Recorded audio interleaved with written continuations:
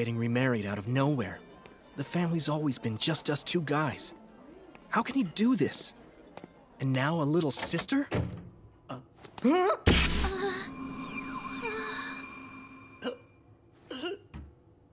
the lock is broken. Make sure you knock. Please.